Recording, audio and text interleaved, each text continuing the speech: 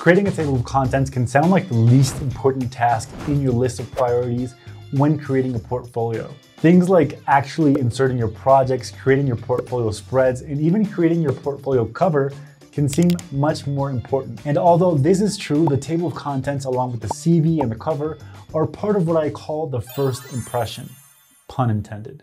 These are the first pages someone will see of you and will know about you, so they're crucial to making a good impression. If your portfolio spreads look stunning, but your cover, table of contents, and CV are not as impressive, you won't have the same result as someone who puts some work into their first impression. In the past, we already talked about covers and also about portfolio spreads. Here, I want to show you how to create an impactful table of contents and show you some examples you can get inspiration from. So in a typical table of contents, we have the page number, the title of each chapter or project, sometimes a brief description of each project, and also an image or logo of each project. You can alternate the importance of each of these elements according to your design style. You can choose if you want to give more importance to the chapter names or the page numbers or the project images. But Steven, how do I know what style to go for in my table of contents? Well, just like the cover and the CV, you want to design these last and use the design and style of the rest of your portfolio and apply it here too.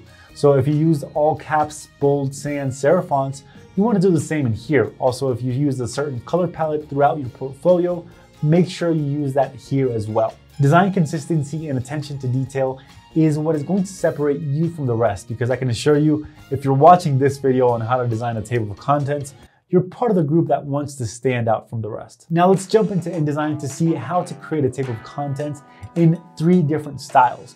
For my first design, I'm going to use only text and I'm going to try to design it in a simple but aesthetically pleasing way. So I'll divide my complete spread in two parts and my second page in two. In the first page, I will put the header, which is not always necessary, but it complements the graphic design of the page. Next, I'll create separate text boxes for the numbers, copy them accordingly, and also separate text boxes for the title and description of the project. I wanted the attention of the viewer to go completely to the numbers, so I used a red rectangle and placed it on top of each number, kind of like crossing them out. As for the colors, I created a rectangle and placed it as the background and colored it in an off-white color. And for the text, I used blue to complement the red color. This is a simple but aesthetically pleasing table of contents.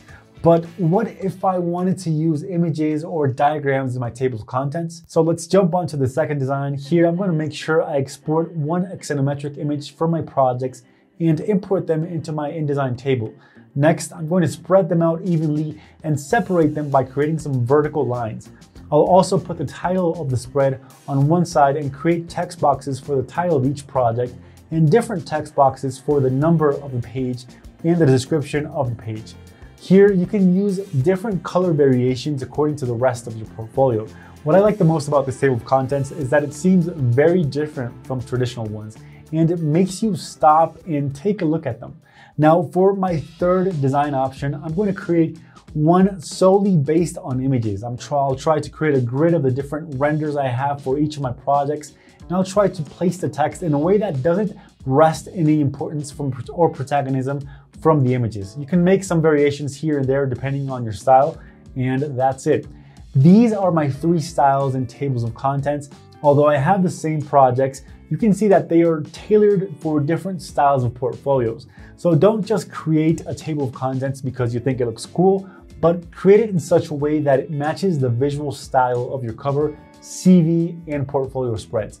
Or in other words, it has a visual rhyme. Again, if this seems like too much for you and really, you really don't want to spend time creating tables of, tables of contents, I have an InDesign template with more than 12 different templates which you can use. Just open the file, drag inside your images, and adjust your text. That's it. Graphic design is clearly one of my passions, and when we think about creating portfolios, we never think about the small little details like a table of contents. Nonetheless, I assure you, this is a small detail that will make you stand out in a very big way. And now, if you made it to the end, this means you are part of the small percentage of the community that watches these parts of the videos. And for that, I want to give you a special gift. If you comment down below this video what you struggle with the most when you're creating your portfolios and your email, I'll send you a special link to download these templates. The first 20 comments will get the templates completely for free, and the rest will get them with a special discount. So comment down below what you struggle with the most in your portfolio and also your email. Here, I'll send you a free version of these templates. And if you arrived here late, no worries, I'll still send you a special link with the discount. Showing your projects better is the first step for your clients and peers to understand them better and for you to design them better. If you want to check out more videos on portfolios and portfolio designs, you can click on this playlist right here. Thank you guys for watching and I will see you in the next video. Bye.